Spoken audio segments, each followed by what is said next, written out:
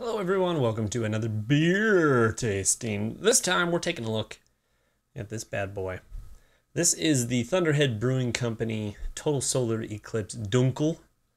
Um, and that's basically all the information I can give to you.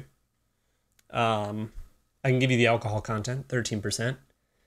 And um, the reason that is, is because it's actually only available in the tap room um, until they run out. They brewed it for the solar eclipse that's going to be happening in Nebraska here in the next week. Um, and I'm fortunate enough to have a friend that is a bartender at Thunderhead, and he brought me a growler of it. Um, you get a stout, a stouty uh, smell, and that's really all I'm going to be able to tell you. Um, I don't have the still waiting for my contacts in my uh, what the recipe for it is, so I can tell you exactly. But I think it's a really good idea for the beer. But let's take a sip.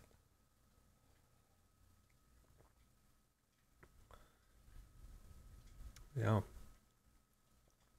definitely a stouty um, taste. But what else do you get out of it?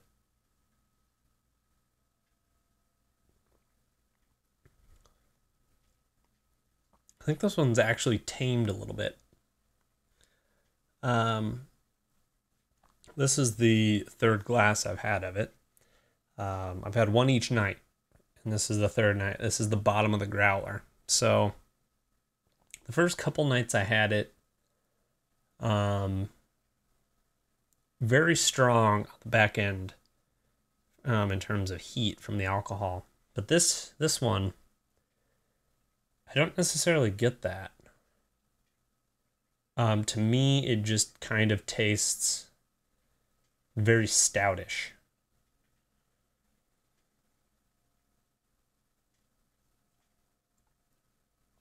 And he did use another term. It was a dunkel something. And maybe he did say dunkel stout but at 13% alcohol, I could definitely see that. I do really like it. Um, I've liked it all three times I've had it. This one obviously isn't as carbonated. I've had it, so I've opened it three days ago now. I opened it Sunday, and today's Wednesday. So, or sorry, Monday? Yeah, I opened it Monday, and today's Wednesday. So, the carbonation is a little bit less now than it was before but that's just because it was in a growler. Um, would I recommend this to someone?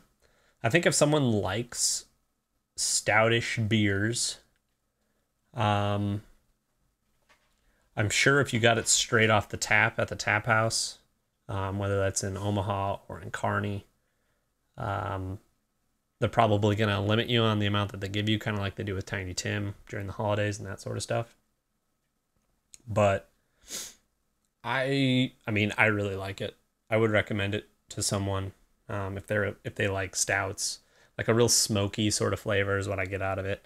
Um, if they can handle a back end alcohol kick, I would I would um, I would definitely recommend this to someone. Um, so if you're lucky enough to be in the tap room when this is still available on tap, whether um, I don't know if they have it in Omaha, but they for sure have it in Kearney because that's where my friend bartends. Um, if you're lucky enough to try it out on tap, make sure to let me know down in the comments what you think.